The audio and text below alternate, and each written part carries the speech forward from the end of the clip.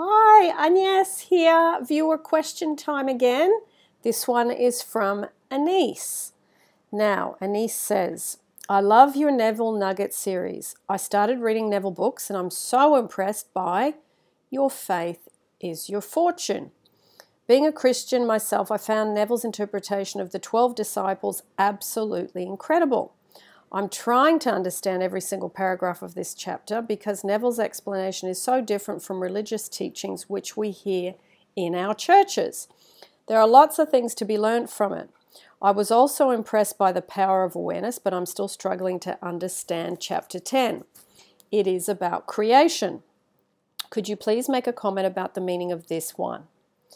All that you have ever been or ever will be, in fact, all that mankind ever was or ever will be, exists now. This is what is meant by creation. And the statement that creation is finished means nothing is ever to be created, it is only to be manifested. What is called creativeness is only becoming aware of what already is. It sounds a bit unreal to me. Does it con- connote that the desired states or things are coexisting now in another dimension in the material world, or is it about our imaginative world? Then Neville says that our concept of ourselves determines our time track or what I can, etc., what I can understand. It would be great if you could tell what you think of this. Oh, I love this question because I love Neville, as you guys already know. And having spent a lot of time reading his books and trying to chew through them and understand them over the last 29 years, it has been learning and putting the pieces of the puzzle together. So, Anisse, I'm glad you brought this up. So, let me go back to what you said.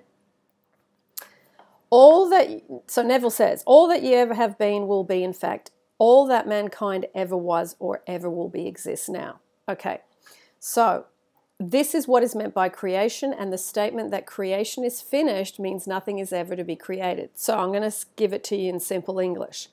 Okay? Let's use a really simple example with money because money you can see and it's clear. Okay? So you are here. First example you're here, you're poor, you've got no money, you don't have a job, and you're in debt. There's one creation. Second creation, here you are, you've got a job, you've got a fantastic boss, you love where you work, you get regular bonuses every year, you have no debt, and you've paid off your house. Okay, option two. Option three, you have a fabulous business, you're running it for you and your family, and you absolutely love what you do. Money comes in, money goes out, it flows in, it flows out. You feel totally secure, you feel absolutely excited about the work you do, and you know that it will continue. Okay?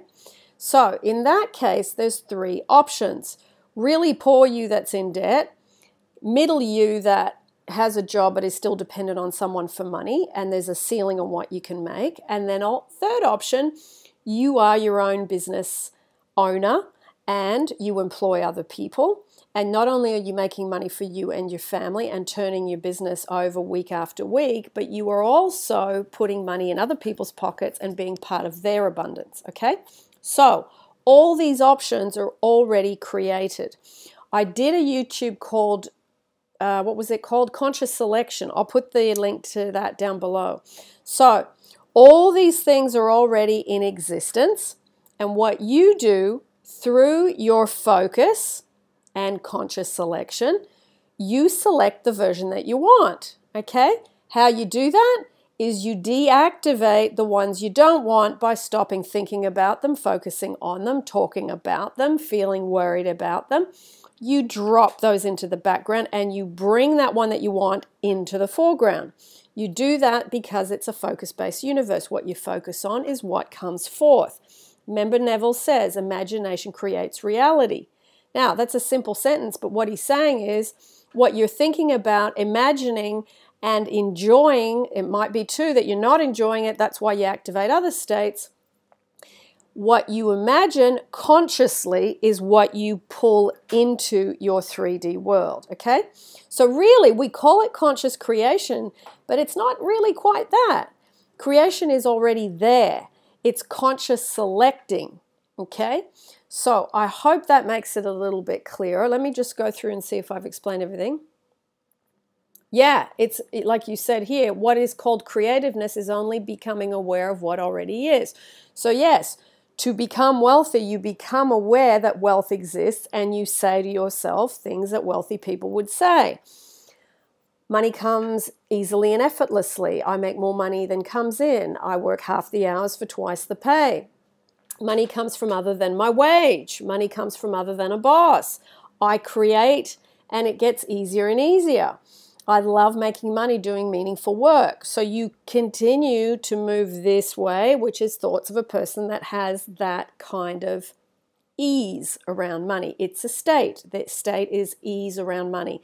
It's feeling, you know, I always think going through the it's wealthy, I'm wealthy is harder than saying I'm free. Because you can, as a poor person, imagine freedom because you can go and walk along a beach even if you have no money, and you can exercise the feeling state of having freedom. If you feel free, that's what wealth feels like. Because wealth is about I can do what I want when I want, you see. So, yeah, I hope that makes it a little bit more interesting. And you can apply the same thing to relationships, you can apply the same thing to travel, a bodily condition where you feel too overweight, too sick, too something that you don't want deactivate it. Stop talking about it, stop focusing on it, stop feeling bad about it. Get into the isn't it wonderful what's happening to me now? It draws it in, it draws it in, it draws it in. Okay? So, now let me just read what else you said.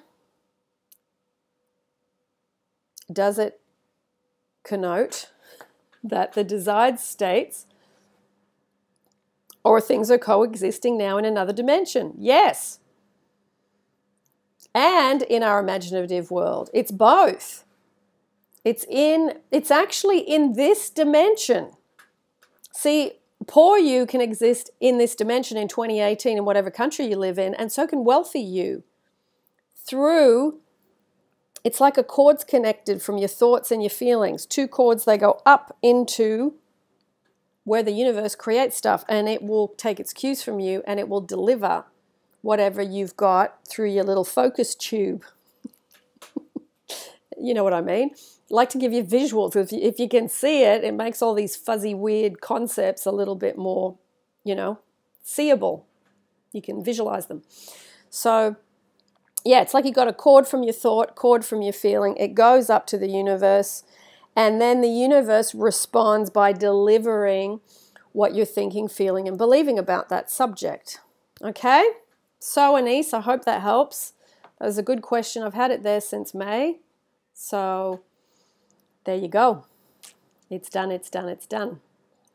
I love Neville. I'm glad you guys are reading Neville and asking questions about Neville because oh, he's so great. And he does take a while to sort of absorb, for it to sink into your bones. Okay, lots of love. And I will put the conscious selection one down below and the contents of your consciousness down below as well, because that relates to that as well. And the Neville Nuggets. Ciao, ciao.